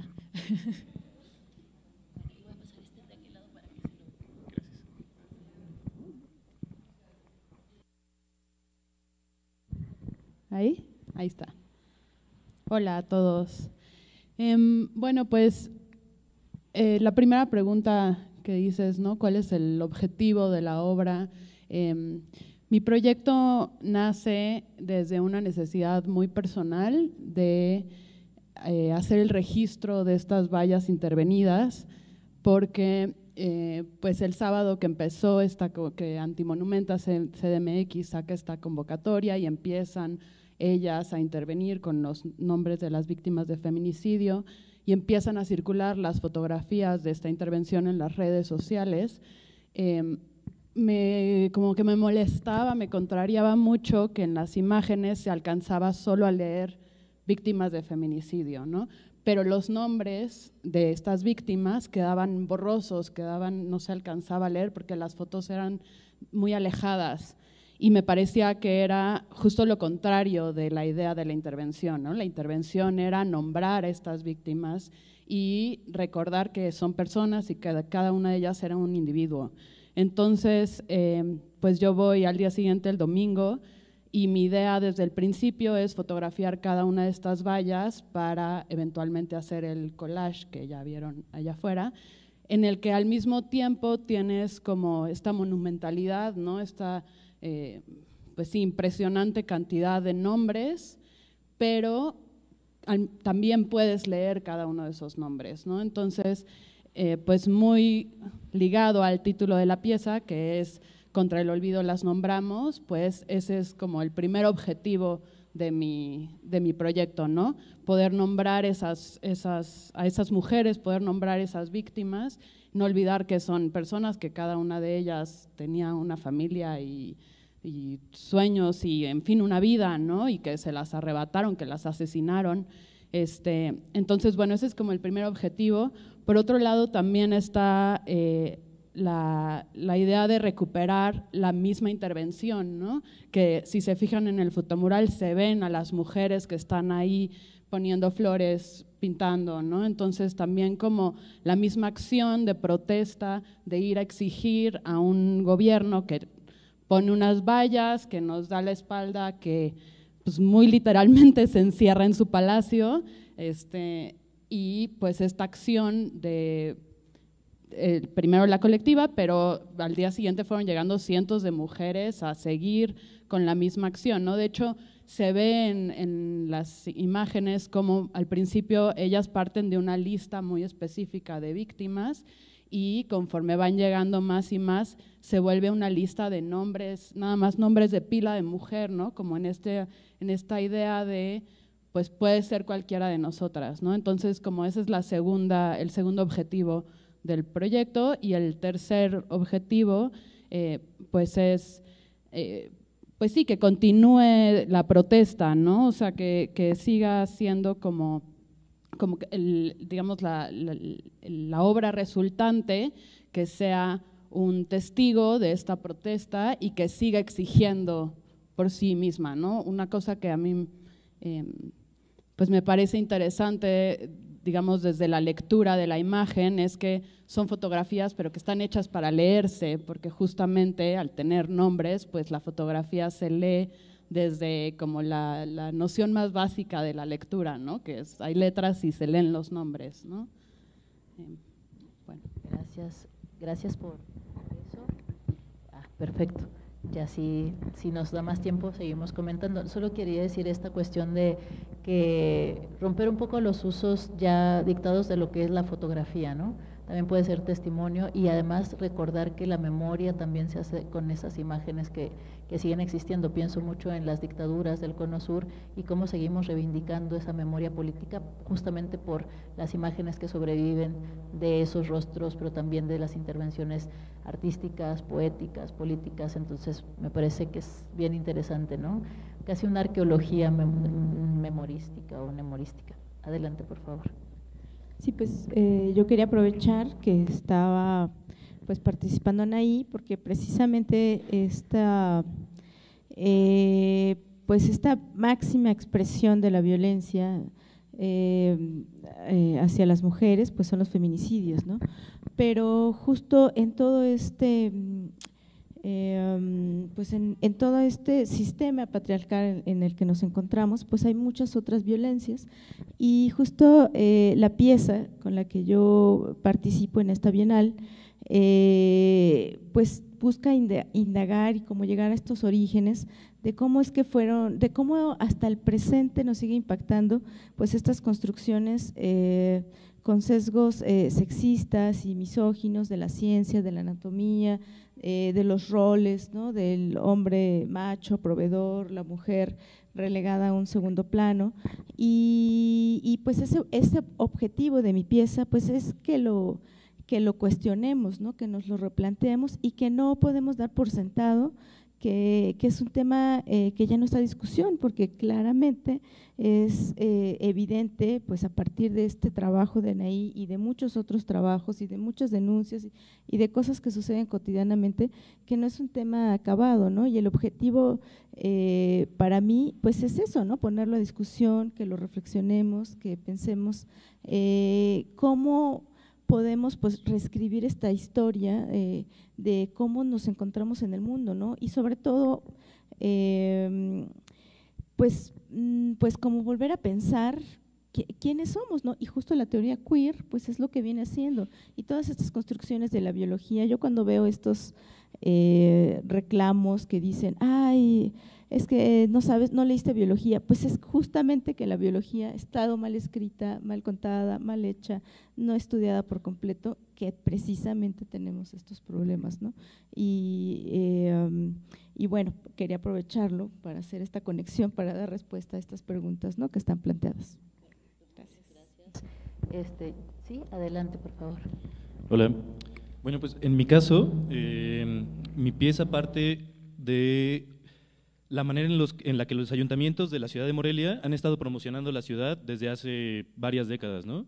Y la promocionan como la joya virreinal de América, ¿no? Entonces, a mí me parecía muy absurdo que desde el Estado se estuviera ensalzando como todo este pasado hiperviolento que fue pues, la construcción de, de, las ciudades que habitamos, ¿no? Sobre todo eh, pues, hacia el centro del país, ¿no? Eh, estas grandes construcciones de cantera que llevaron eh, cientos de años en terminar y que costaron la vida de cientos de miles de personas, pues que justamente nadie recuerda, ¿no? O sea, que es como si no hubieran existido. Em, y me parecía eh, muy absurdo, pero también muy violento, cómo estos lugares poco a poco se van convirtiendo en sitios icónicos, ¿no? En sitios turísticos, sitios a los que la gente va o que dicen, ah, bueno, es que tienes que viajar a tal ciudad para conocer tal acueducto, ¿no? Tienes que conocer tal catedral, ¿no? Y entonces empecé a preguntarme mucho, em, ¿quién define, ¿no? ¿Qué son los sitios que vale? ¿Cuáles son los sitios que vale la pena conservar. O sea, que se conviertan en patrimonio de la humanidad, ¿no? O sea, como todas estas categorías, eh, pues que son bastante también eurocéntricas, ¿no? O sea, cómo van definiendo la manera en que vamos observando y que nos relacionamos con el espacio, ¿no? O sea, cómo se va construyendo esta arquitectura y esta idea de lo que es bello, ¿no? O sea, una catedral es bella, pero una casa de Infonavit no, ¿no? Eh, entonces es como justo a partir de estos cuestionamientos que yo planteé em, una, una, idea como de una narrativa de qué va a pasar cuando ya no estemos, ¿no? O sea, porque también como seres humanos tendemos a pensar que, pues, que la humanidad eh, va a ser eterna, ¿no? O sea, no tanto ahora porque pues estamos con una crisis climática en la que en 10 años nos vamos a quedar sin agua, eh, pero pues sí, como con este planteamiento de, de, la ruina, ¿no? O sea, por una parte pensando en cómo vemos los vestigios de las civilizaciones anteriores, ¿no? o sea, los lugares que habitaban y cómo especulamos al respecto, pero también pensando cómo vamos a especular, eh, pues sí, como, como seres humanos en un futuro sobre estas grandes construcciones, ¿no? O sea, cómo, eh, si digo, si ahorita tienen 400 años, 400 y tantos, ¿cómo van a ser en 600, en 700, en 1000 años, ¿no? O sea, ¿cómo se va a pensar al respecto? Y entonces, em, pues hice un planteamiento bastante sencillo, que era con postales comerciales, ¿no? O sea, que también justo es em, este planteamiento de, de, quién, qué se conserva, ¿no? O sea, qué es, qué es lo que vale la pena eh, distribuir, ¿no? Cómo las imágenes se construyen y son, eh, pues sí, asimiladas por nosotros como colectivo, ¿no? Eh, Entonces tomé estas postales comerciales y las intervine con acrílico como si, eh, pues sí, incendiándose, ¿no? Un poco también a manera caricaturesca, eh, para resaltar precisamente como lo, eh, pues sí, un poco lo absurdo que es este, pensar en estas grandes construcciones como inamovibles, pero también como pensando en una, no precisamente de denuncia, sino más bien como de señalar, ¿no? A mí me interesa mucho, más que decir, ah, eso está mal, que la gente se pregunte, bueno, pero ¿por qué este lugar que se supone que es tan bonito como es la Catedral de Morelia o el Acueducto de Morelia, eh, ¿por qué se está incendiando? ¿no? O sea, ¿por qué alguien lo pinta en llamas, ¿no? pensando en su destrucción? ¿no? Precisamente para, para detonar este tipo de cuestionamientos, ¿no? Eh, que, que, es algo que a mí me interesa mucho, ¿no? porque mi, mi, trabajo aborda mucho como las relaciones de poder ¿no? y la manera en que el poder se ejerce. ¿no? Y en este caso, pues es una forma eh, muy sutil, pero pues así como la gotita que va ahora dando la piedra, ¿no? Eh, que a lo largo de, decir esta catedral es bella, esta catedral es bella, una y dos y cien veces a lo largo de, los años, eh, pues se va, se va convirtiendo en un hecho pues casi incuestionable, ¿no? Entonces, em, con un gesto eh, que, desde mi perspectiva es bastante sencillo, busco eso, ¿no? O sea, que la gente pueda decir, bueno, pero ¿por qué? ¿no? Que detone este tipo de cuestionamientos y que al salir puedan también llevar esos cuestionamientos al espacio que habitamos, ¿no? O sea, preguntarse qué hay debajo de nosotros, qué vino debajo de nosotros y a costa de qué estamos caminando estas calles, ¿no? Perfecto. Sí, si quieren, quien quiera, de ese lado. Vale. Eh, antes de, de que continúes, creo que hay que conectar como me parece, rescato la idea de que es un gesto simple y la idea de cuestionar aquello que está dado por sentado, ¿no? Que me parece muy importante porque las narrativas están como muy, muy tomadas como verdades absolutas. Lo que tú decías de la biología también me parece importantísimo. Histórica y políticamente la biología es algo que, bueno, ahí está Chicha que habla de eso justamente. Este, pero como esas narrativas que se construyen socialmente, históricamente también y geopolíticamente. Entonces, el desafío me parece muy importante desde el gesto más pequeño, porque en un país donde parece que no podemos hacer absolutamente nada, este tipo de cuestiones nos dicen, no solo no es que no podamos, es que estamos haciendo muchas cosas, pero no tenemos el, el digamos, la legitimidad para poder cuestionar de manera grande, ¿no? Pero al final se están haciendo estas cosas y creo que desde este gesto muy pequeño, pero muy colectivo, se está transformando y me parece que en, en estos gestos radica un espacio de decolonialidad que no está dictado por las academias, sino por el gesto en sí mismo y esto me parece importante. Luego lo podemos seguir discutiendo, pero creo que, que lo quería rescatar porque esto de lo sencillo me parece totalmente revolucionario en ciertos momentos, ¿no? Que hay cosas que podría parecer que ya pasaron de moda, pero no significa que no sean relevantes. U otras que están performativamente, históricamente y políticamente posicionadas, que parecen incuestionables, pero que no lo son, ¿no? Entonces, bueno, adelante, por favor. Bueno, aquí eh, yo rescato lo de cuestionar, eh, cuestionar las ideas preconcebidas que tenemos tanto de los espacios como de eh, ciertos comportamientos incluso eh, en la sociedad. Eh, en el último año, cuando estaba produciendo estas piezas, siempre me preguntaba constantemente como, cómo le explicaría esto a mi hija, sobre todo porque de lo que trata mi pieza es una situación muy cercana a mí, o sea, con respecto al feminicidio de mi hermana, y era cómo le transmito que tuvo una tía que es mi hermana, pero que esto no implicaba todo ella, el feminicidio no era todo ella y que había muchas cosas a través. Entonces es cuando uno empieza a hacer un análisis del archivo este, y empieza a cuestionarse también ¿no? su posición de cómo va a empezar a educar y cómo va a empezar a, hacer estos procesos de, eh, ok, mi familia tiene este archivo y tenemos estas ideas preconcebidas y tenemos estos vínculos, ¿no? Y esto es lo que...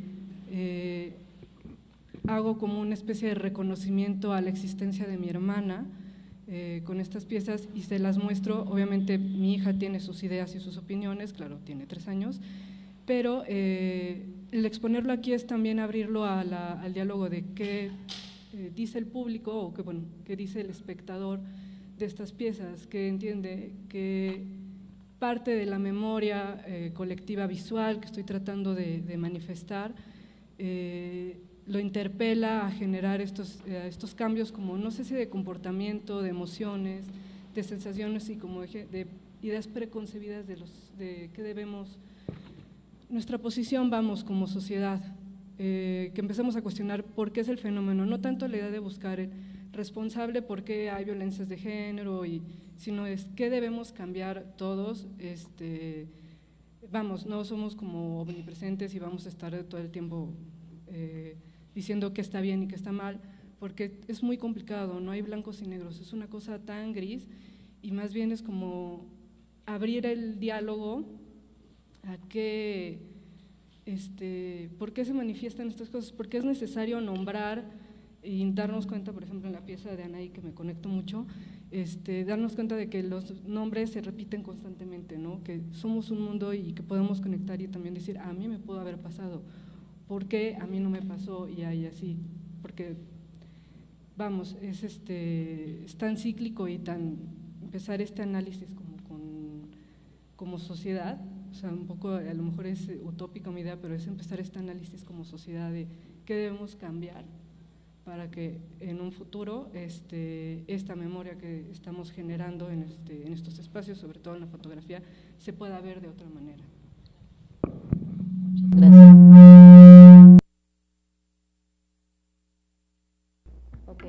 Allá, por favor. Sí, ya, ahí está. Eh, bueno, mi pieza es una foto donde hay unos niños jugando como con piezas, armas de, madera. Eh, es, el lugar está situado en Tijuana, es en, las, en los alrededores de un albergue migrante. Eh, y bueno, yo suelo ir a estos lugares a, retratar el tema, ¿no? Lo, he hecho por muchos años. Este, incluso también he retratado mucho la, violencia dura, directa, o sea, como para prensa, para periodismo. Y bueno, hablando en sí de la foto, yo me encuentro estos niños, me los topo y, les digo, bueno, yo sabía que eran del albergue, hijos de, de personas migrantes de ahí, y les pregunto a qué, a están jugando, ¿no? y me dicen, estamos jugando a, ser pandilleros. Ellos son el barrio 18 y, no recuerdo qué otra pandilla, pero me, nombraron a dos de las pandillas muy fuertes en Centroamérica. E, eso era el juego que, que ellos tenían en mente, ¿no? Y para mí fue un, e, incluso en el momento, ¿no? Pero ya después cuando lo reflexioné fue un choque muy fuerte porque precisamente de, ese tema es de, lo que están, uno de los temas fuertes que están huyendo sus familias de, sus lugares de origen, ¿no? Eh, originalmente en años pasados o, por décadas ha sido la pobreza, pero en los años más recientes también se, se incluye ahora la violencia, ¿no? La, amenaza de pandillas, que llegan y les tocan la puerta de la casa y les dicen, ¿sabes qué? Queremos que tu hijo trabaje para nosotros, si no, te vamos a deshacer a alguien de tu familia, lo vamos a hacer pedacitos. Entonces, no les queda otro más que salir, salir, o sea, para ellos es, o sea, estar en un albergue en Tijuana es como mil veces mejor que estar en, esos lugares donde se los cumplen, o sea, no solamente los amenazan, les cumplen ese ese, les cumple la amenaza, pues, ¿no? De, desaparecer a alguien de la familia, entonces, pero bueno, y esto me puse a pensar, y, esto lo van absorbiendo los niños, lo van escuchando todo el tiempo, y, de alguna manera, no sé, bueno, eso también ya se lo dejo al espectador, ¿por qué deciden los niños jugar estos juegos? ¿Qué ven en estas pandillas? que les atrae, que, es ese poder que ven en ellos, no sé si los ven como héroes, no sé. También eso lo dejo un poco a, poner, a poner sobre la mesa el tema, ¿no? El tema, pues, que es la migración, que es la violencia, este, que es la pobreza, obviamente también, ¿no? Y un comentario un poco aparte, pero siguiendo con, un poco con el hilo, yo cuando tomo este tipo de fotos y cuando ya las suelto, las, las, dejo ir, las publico, las muestro, yo sé que estoy corriendo el riesgo de que puedan ser interpretadas de mil maneras, porque así es la imagen, ¿no? O sea, incluso aunque yo la ancle con un texto, y que diga se trata de esto, esto, el otro, siempre la imagen será interpretada de diferentes maneras, ¿no? Depende quién la, quién la está observando, depende del bagaje cultural, las costumbres, los gustos, etcétera, y yo sé que siempre estoy tomando esos, esos riesgos, ¿no? A pesar de que trato de anclarla con algún texto que se trata de esto, esto, el otro, ¿no? Eh, entonces, para ser breve y conciso, un poco se trata de, de, eso la pieza, ¿no? Entonces, de poner, eh, mi intención es poner el tema sobre la mesa, no quiero cambiar el mundo, para mí la imagen no tiene ese poder, en mi opinión, Simple, no, no, no soy tan romántico, lo era, la verdad que lo era, y me volví más pesimista, la verdad, un poco más apocalíptico, pero es que me he dado cuenta estudiando y con la experiencia de que realmente la imagen realmente no cambia, ¿no? pero sí tiene ese poder para hablar al menos las cosas, ¿no? Y a lo mejor me equivoco, a lo mejor sí cambia las cosas, no sé. Bueno, ya.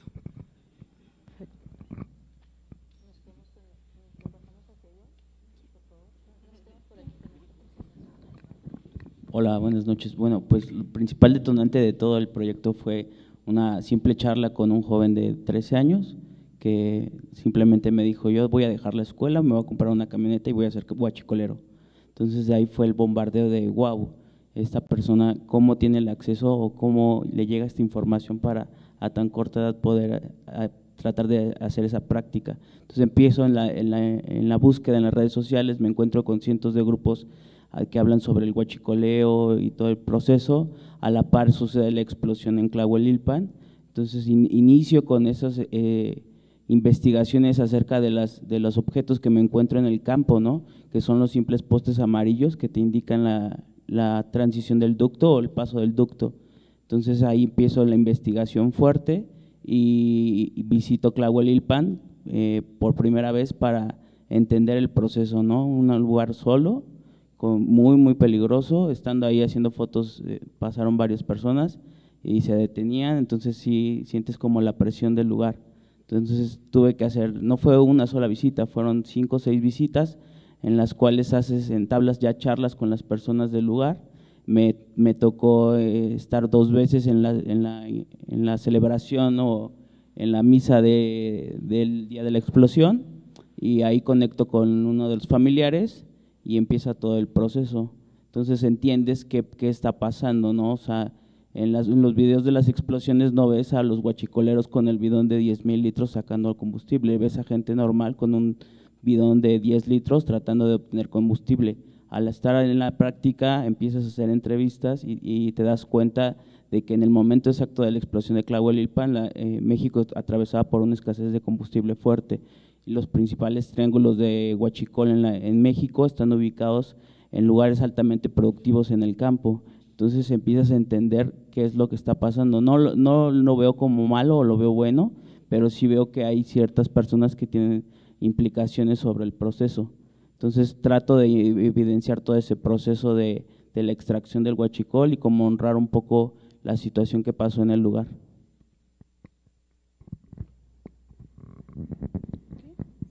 Buenas noches. Este, en mi caso, el proyecto o la serie de, sobre los mascobos nace de primera intención por no por un afán eh, de, de, curiosidad, sino de entender la región en la que yo vivo, en la que crecí. Eh, yo soy norteña y obviamente, como en todo el país, o sea, hay muchos Méxicos. Entonces, el norte tiene la cultura del desierto y pues sí, de, primera instancia nace en, entender esta comunidad de la cual yo no tenía conocimiento, sino hasta que ya estaba pues ya en una edad adulta. Y, y, después, si ustedes hacen una búsqueda en Google así rápida y ponen los mascobos o mascobos, se van a dar cuenta que las imágenes que aparecen son imágenes de, de, lo afro, de lo exótico, de eh, este, imágenes en las cuales se retrata a los mascobos de una manera en las que celebran su fiesta más ah, importante, pero no encontramos muchas imágenes de cómo es su vida o su día a día o de qué viven o cómo subsisten en este lugar tan alejado de la ciudad.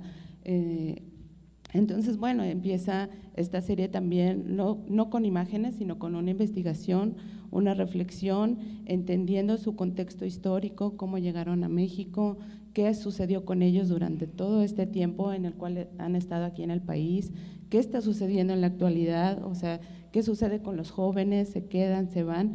Entonces, muchas de las imágenes, si de primera instancia era luchar con estos estereotipos, eh, y presentarlos a ellos eh, como son, darles esa oportunidad de que ellos me, pues me guiaran, me dijeran cómo querían ser retratados, en dónde querían ser retratados y no ser yo esa mirada externa de solamente llegar, hacer una fotografía rápida, irme, sino estar con ellos, entenderlos, platicar, o sea, es creo que eh, una manera de también de, de, si bien yo no soy periodista ni documentalista, pero sí abordarlo de, un, de una manera o de una mirada ya no tan colonialista, que es como hemos estado repitiendo este tipo de imágenes cuando vamos a una, digo, cuando un fotógrafo, un artista va a alguna comunidad y quiere retratar em, una población, este, entonces sí era también como esa intención de, de, de, pues de luchar un poco con esas imágenes que, que repetimos.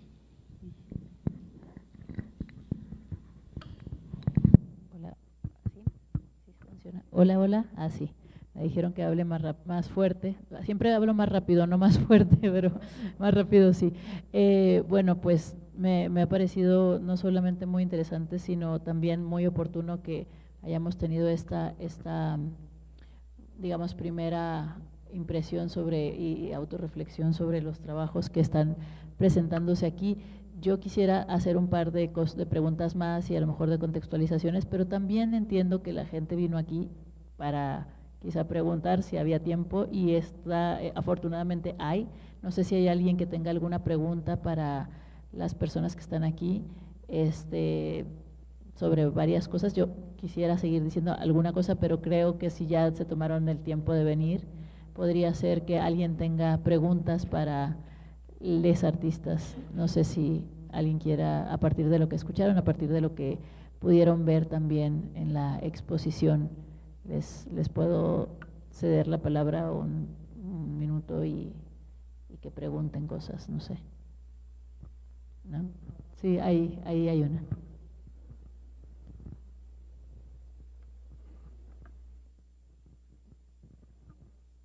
Gracias, gracias a todos eh, eh, y por la oportunidad. Veo em, hay un común denominador en, las imágenes, en la mayoría de las explicaciones, que es el poder expresar lo que, lo que como personas, como situaciones, como sucesos quieres, quieres llevar ahí. La verdad es de que no sé si, si en ese sentido es que se armó todo la, toda esta exposición o si simplemente es este, pues mera casualidad, ¿verdad? Porque creo que ah, el trabajo de cada uno de los artistas es, es, bueno, a mí se me hace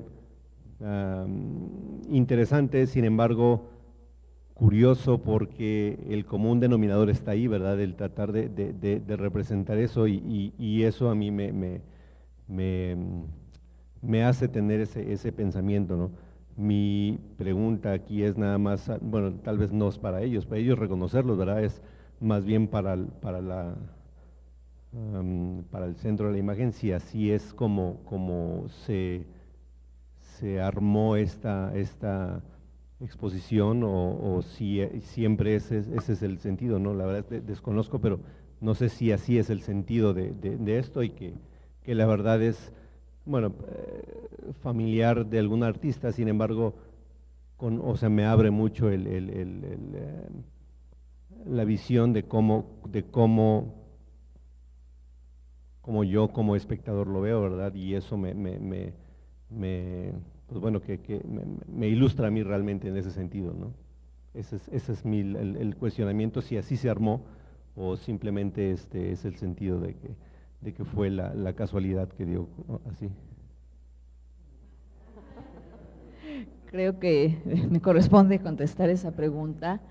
Eh, bueno, probablemente no todo el mundo eh, conoce perfectamente el proceso de la Bienal, pero bueno, es una convocatoria pública abierta, hay una serie de requisitos para participar, pero en general es pues trayectorias de fotógrafos que eh, postulen con un proyecto realizado en los dos últimos años. Después hay una revisión por parte de un jurado, ese jurado discute y selecciona un cierto número de propuestas cabe, digamos, en el espacio expositivo del centro de la imagen y en términos de posibilidades de producción. Y em, en esta ocasión se seleccionaron 25 propuestas y yo fui invitada para hacer la curaduría. Y la curaduría es básicamente un trabajo de contar una película puesta en el espacio a través de las imágenes, las ideas y los trabajos y generar diálogos, afinidades, contrastes eh, y un cierto relato, una secuencia, producir sentido a partir de proyectos que no nacieron en conjunto, ¿no? O sea, que sí hay un elemento de coincidencia. Obviamente, estos temas no son una coincidencia, son temas coyunturales del presente que van tomando formas y que es tangible que hay una serie de problemáticas y que estos artistas los están trayendo al frente con lenguajes eh, fotográficos diversos, pero muy palpables, ¿no? Entonces, un poco ese es la, o sea, hay un elemento, sí, de coincidencia, hay una circunstancia histórica que estamos viviendo y hay un relato que yo como curadora articulo, ¿no? Para producir sentido para el público. No, al contrario.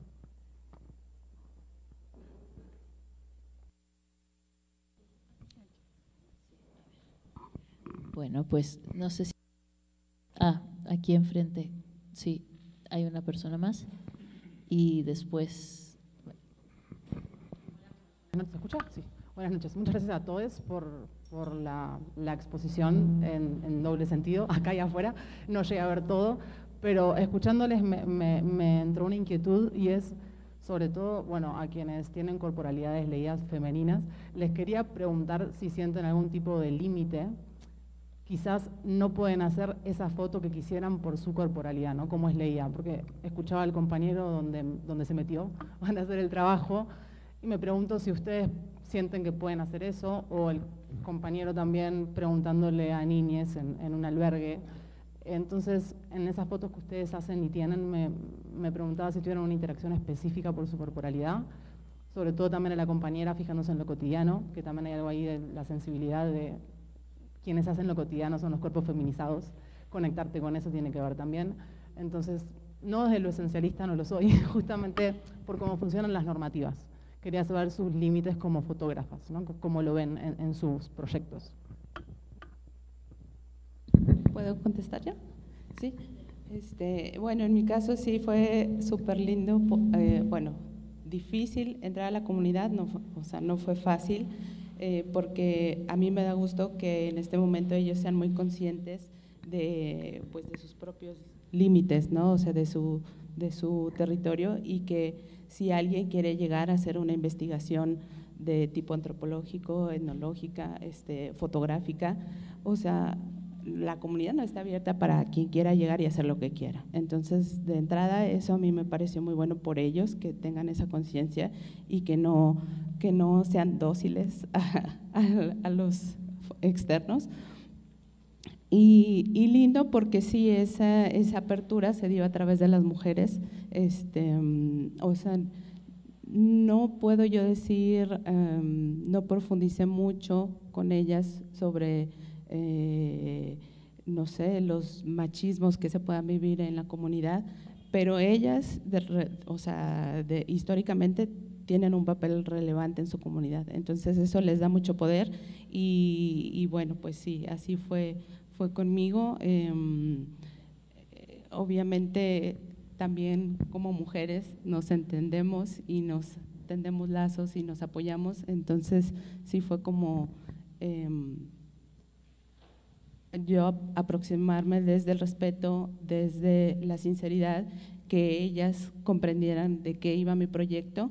Y bueno, pues es, eh, eh, digo, no es un proyecto que está cerrado, es un proyecto que sigue y que yo tengo intención de seguir regresando a la comunidad. No es la primera vez que fui a esta comunidad, he ido en diferentes años, desde hace 15 años, entonces tampoco soy una desconocida, pero ahora mi intención o mi interés es que las imágenes se empiecen a crear desde adentro de la comunidad y a mí me gustaría dar talleres a los niños para que los niños de la comunidad sean los que empiecen a generar estas imágenes y, ellos mismos nos den señas de cómo quieren verse representados, cómo ellos van a retratar a su comunidad. Entonces creo que sí, bueno, es así, el proyecto sigue en curso y bueno, vamos a ver qué, qué sucede. Bueno, en mi caso, por ejemplo, a un nivel físico, las fotos de los paisajes son el espacio donde residió el cuerpo de mi hermana, que es al lado de un río.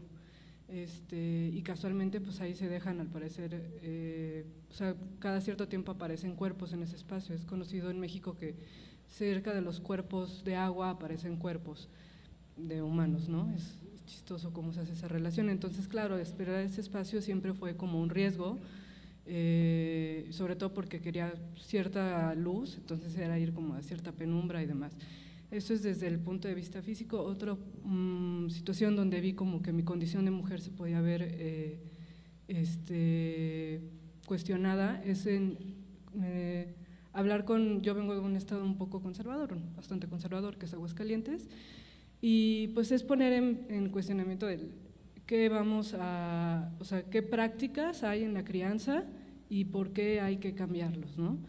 Eh, sí es como empezar a decir, es que a lo mejor esto, mm, si lo cambiamos, no está bien o no está bien, está bien o no hablarlo, y sí genera siempre ciertas este, como dudas o rechazos.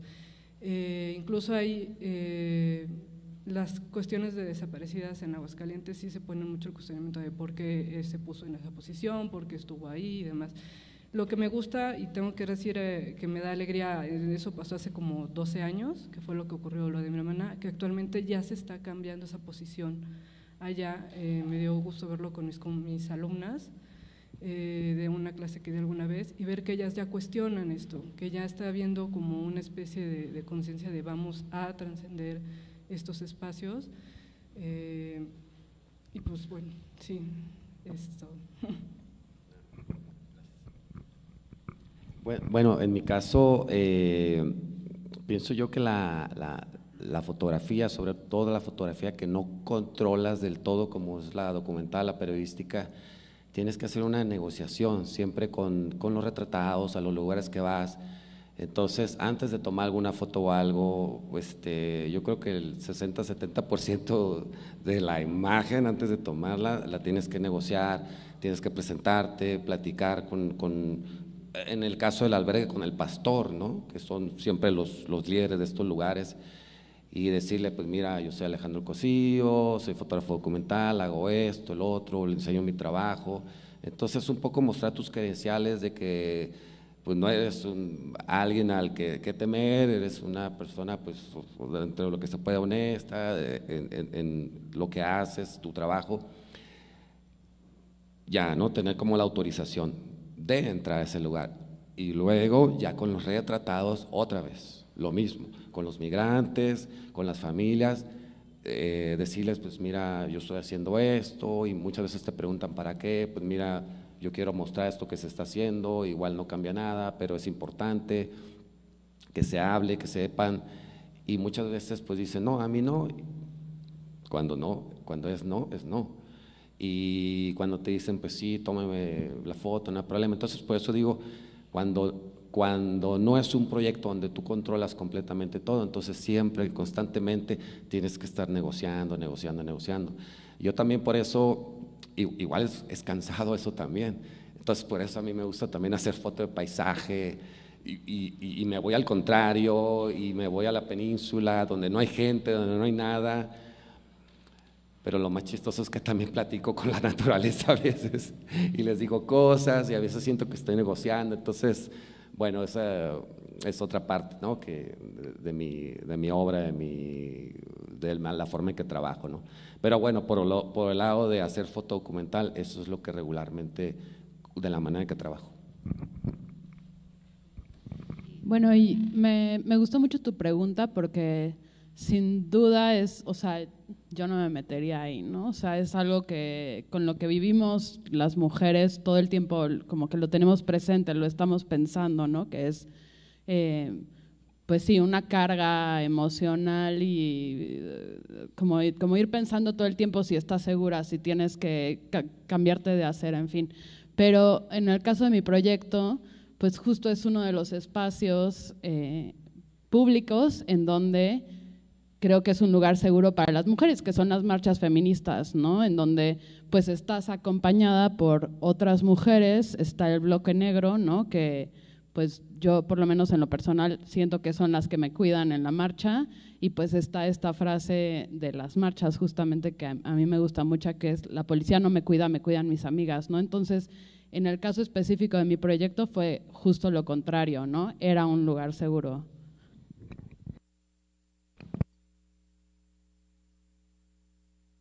Hola, hola.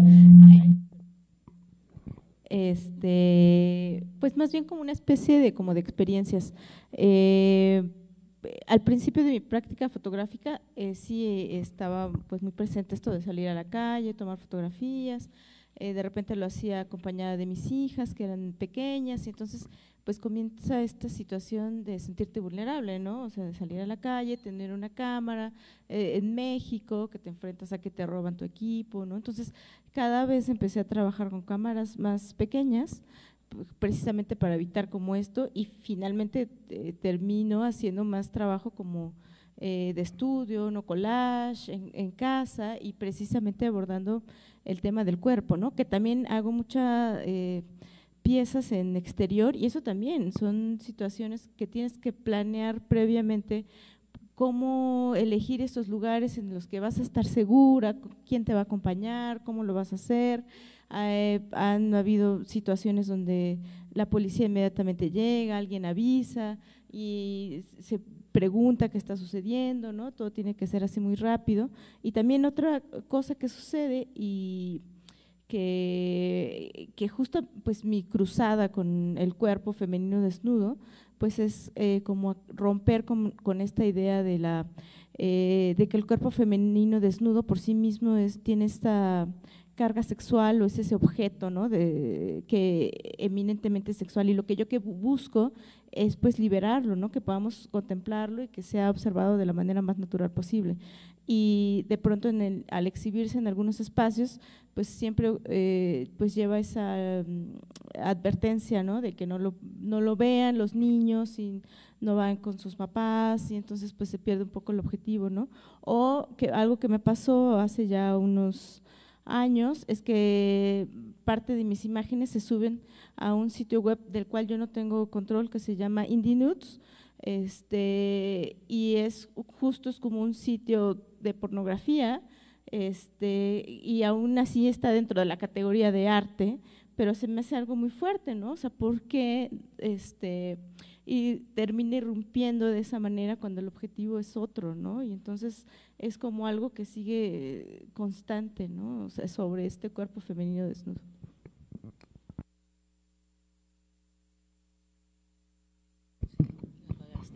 Ok, bueno, Carmen, ¿cómo estamos de tiempo? Diez minutos más. Perfecto. Eh, bueno, pues en principio creo que, queda súper claro que, no es una coincidencia, ¿no? además de la curatoría que se hace, todo el trabajo este maravilloso de poner a dialogar a las piezas y a disentir, también me parece que es súper interesante ver eh, los gestos y lo que tú decías, no cambia nada, pero cambian cosas. O sea, depende con quién estés interlocutando. Y aquí yo creo que la interlocución válida es con quienes vienen a verlo, pero también con quienes están viviendo en este país. O sea, seas o no seas de este país, si vives en este país te das cuenta de que en realidad casi, bueno, todas las piezas te disparan una, una idea de resistencia y una idea también de, de, que, de un muy cotidiano de impugnación. O sea, no son las reivindicaciones revolucionarias de los grandes hombres barbados de la izquierda eh, revolucionaria internacional, sino más bien ese ejercicio de desobediencia cotidiana que no tiene que ver con una desobediencia civil o espectacular, sino más bien con no resignarse a lo ya dado, ¿no? Y creo que aunque evidentemente el problema del feminicidio en México es uno de los más graves, igual que otros problemas eh, que, no, que no consiguen justicia en nuestro país. También está muy vinculado con pues estas transversales que ya hemos, eh, que ya se han estado hablando, pero también me parece que se le da la vuelta a la pregunta y se le da la vuelta a la revictimización. Como decías tú, terminan, pueden terminar en un lugar como un sitio de porno indie, pero esa no es la intención y entonces tu imagen disputa ese sentido y esa representación. ¿Por qué? Porque de, una, de alguna manera creo que algo que me parece muy interesante de los trabajos que se presentan en estos dos bloques es que se siente que están acompañados por quien está trabajando con esa idea. O sea, no es una idea que se lanza al mar de las imágenes y que haga lo que sea, sino más bien está buscando interlocución para crear una comunidad de sentido. Y en ese sentido, valga la redundancia, se crean como afectos que no son tangibles o que no son inteligibles de manera muy directa por estas narrativas que ya conocemos, pero que sí nos están hablando de quizá no sé si esta es la palabra que quiero usar exactamente, pero de una pulsión de transformación social desde un lugar muy doloroso, desde un lugar en el que no podemos hablar de eso si no repetimos esas narrativas del duelo político público que ya conocemos o, nos resignamos al obituario en el cementerio y en la esquela del periódico y ya está. Y aquí dices, no, en un país lleno eh, de violencia y de muertos también hay otras cosas y sobre todo quedan los supervivientes o los sobrevivientes a estas cuestiones que van a dar su voz también y que de alguna manera van a cuerpar a esas personas que ya no están. Y es como a alguien le importa, pero no solo le importa a quienes hicieron las piezas, nos importa a todos, porque en realidad vivimos, como tú decías, se repiten los, los, este, los nombres porque se repiten las víctimas y porque se repiten constantemente los sucesos. Entonces, de alguna manera, más allá del miedo, que eso es también una narrativa muy autoritaria y muy mainstream de los medios de comunicación de no podemos hacer nada, esto es una vorágine, nos están comiendo todo el tiempo con, con la idea del miedo, porque el miedo es muy efectivo, evidentemente, para controlar, para para desempatizar, para llenar como de, terror básicamente a las personas y por tanto inmovilizarlos, anestesiarnos y otras cuestiones, eh, me parece que esto de alguna forma sale, sale de una manera muy parecida a lo que se hace regularmente con las imágenes, pero crea una encriptación distinta. O sea, está buscando otras interlocuciones posibles. Y eso a mí me parece que no hubiese, no, no hubiese sido posible hace 15 años, aunque, o hace 10 años, cuando de todas maneras ya estaba pasando todo esto pero creo que el tiempo y la memoria, la construcción de memoria y de relato y de impugnación y justamente eh, que volvamos a ver que hay comunidades afrodescendientes en México, que hay como que está el problema del feminicidio, el huachicol, la pobreza energética, la pobreza, el descuido del campo, no, la precarización económica, las violencias sociales y políticas de las que vienen escapando los migrantes, no solamente centroamericanos, sino también la migración interna de nuestro propio país, eh, pues conecta una serie de discursos que los vemos en lo muy alto, pero que no nos tocan y que al finalmente pues sí nos afectan a todos, ¿no? Y esto me parece súper importante porque creo que estamos por lo menos tratando de ser una comunidad desde el afecto y ya no solo desde la revictimización y no solo desde tirar una piedra en contra de otros, ¿no? Como que no es hacernos cargo también de esa responsabilidad que tenemos como artistas, sin caer en el panfleto de que el arte puede transformar el mundo. Yo sí creo que puede. Y yo creo que de hecho lo que los artistas deberían hacer es cobrarle copyright a las redes sociales, porque todo el, todo el imaginario cultural y el desplazamiento cultural y político y epistemológico que se hizo desde las vanguardias hasta este momento es lo que nutre las redes pero no les dan copyright. Eso ya es otra cosa, es una discusión distinta, pero creo que sí que se están no solamente adelantando, sino más bien que son efectivamente excelentes lectores de su momento y de su contexto y nos están dando imágenes para pensar eso, pero no para que la imagen sustituya el hecho, sino más bien para que la imagen inicie una conversación al respecto, ¿no? Como un poco yendo hacia atrás, un backwards, más que como que no un lugar de futuro, sino un lugar de revisión histórico-política de este país. Y creo que en ese sentido las imágenes, eh, en, este, en este caso, como todas, son contextuales, pero están dialogando de manera, ni siquiera sé si armónica, pero irrefutablemente ahí, ¿no? O sea, no puedes decir que esto no está que esto no es un cuestionamiento y que esto no es algo que además atraviesa a quien está poniendo el ojo detrás de esa cámara, ¿no? O los ojos o el cuerpo.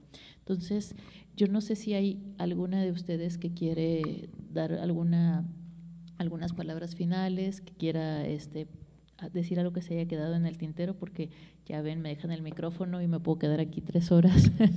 Pero bueno, no sé si alguien más quiere decir algo, que algunos hablaron mucho menos. Este, no sé si por aquel lado quieren aportar algo, no sé, alguno, alguna cosa más. Si no, sí, adelante Carmen. Creo que aquí está el micrófono. Mira, ahí viene.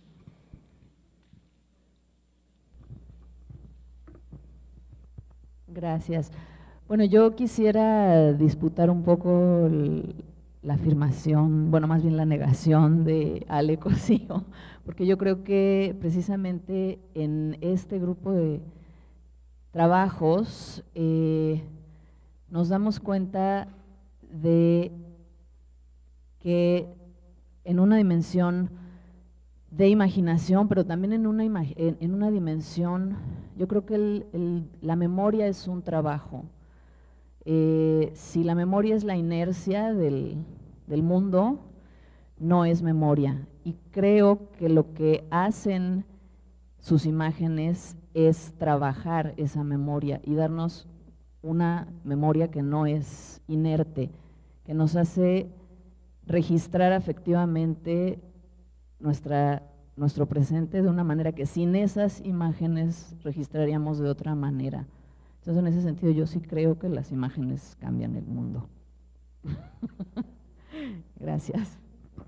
Pues gracias a todos por la asistencia. Aquí están los artistas, las piezas y bueno, me imagino que, aunque creo que nos tenemos que ir pronto de acá, ¿no? Por, porque cierran, no sé si, no sé, cierran.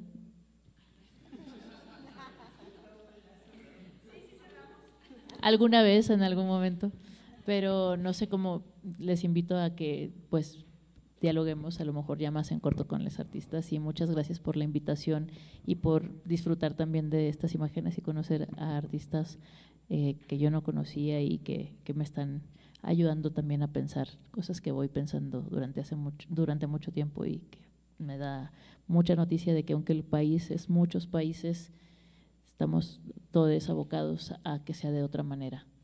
Gracias.